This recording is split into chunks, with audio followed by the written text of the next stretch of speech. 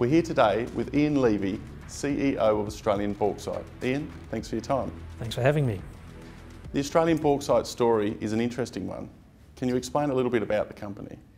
Well, we're a company that um, from grassroots discovered a new type of bauxite occurrence in Australia.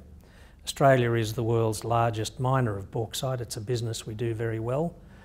Um, but there are many different types of bauxite and we found a, uh, a special type of bauxite on the east coast of Australia. So uh, we're in the business of developing it to its max. And closely aligned to the China story, how is China from your experience?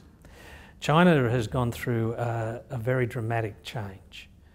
Uh, they were um, very upset with the performance of some countries who put taxes on exports to China and they saw that as being anti-Chinese. Australia proved its worth by not doing that. Despite our budgetary problems as a nation, we continue to be a reliable supplier.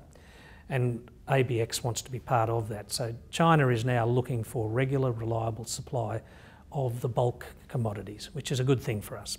And some of the recent milestones the company's achieved? Well, um, during the uh, transition period, there was a lot of frictional uh, change in the market during 2015.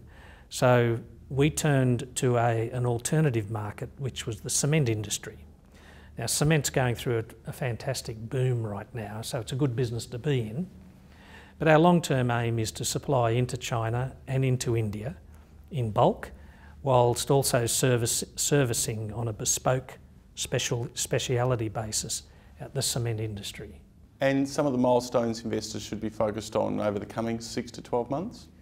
Well, uh, we always strive to assure our uh, shareholders that we don't want to do a capital raising. But over the next uh, six months, we're hoping to put two extra customers into our spread of customer base.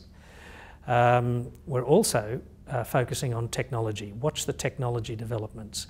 We're hoping to get the maximum value out of our bauxite, which is extremely clean bauxite. And you'll see on several fronts we develop value adding. Ian, a lot to do over the next six to 12 months. Investors should keep an eye out. Thanks for your time. Absolutely. Thank you.